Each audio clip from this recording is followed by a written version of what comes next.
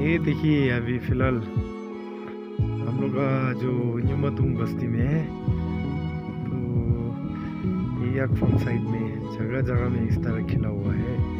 ये एक जगह का है, आप देख सकते हैं नज़रा। सिर्फ़ एक जगह मतलब ऐसे खिला हुआ है। तो ये टोंग हिल जो हम लोग शिमते शिमते से नीचे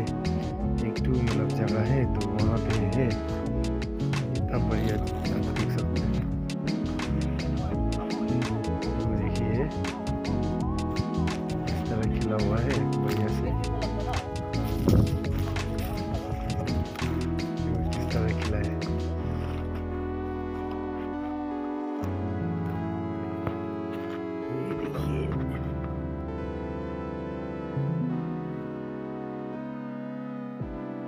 आप लोगों का लैंग्वेज में ये फूल को क्या बोलते हैं? हम लोग का लैंग्वेज में इसको गुंतोंग मेंतो बोला जाता है, गुंतोंग। शायद विंटर का समय में बहुत सारा खिलता है ना तो इसका वजह से इसका नाम दिया है क्या? गुंतोंग तो देख सकता है, खूबसूरती।